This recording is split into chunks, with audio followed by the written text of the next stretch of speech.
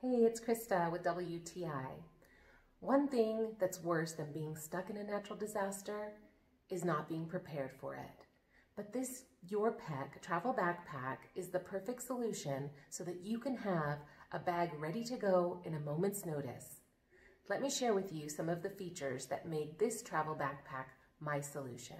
The extra large design of this travel backpack has really come in handy as it fits several changes of clothing, towels, toiletries, important documents, and anything that I might need if I have to flee in a hurry. The backpack also has multiple compartments that are zipped off and easy to organize so that I'm able to easily find the items that I've stored. This backpack is also perfect for travel. It's the perfect size as a carry-on item. It can stow easily overhead or under a seat.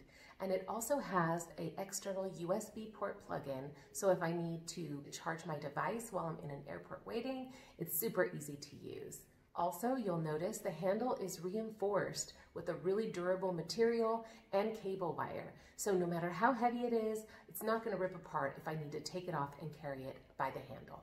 So whether you're going to use this backpack for emergency preparedness and hopefully really never have to use it, or use it for travel, you'll love the design, the functionality, and the features of this backpack, and that's my point of view.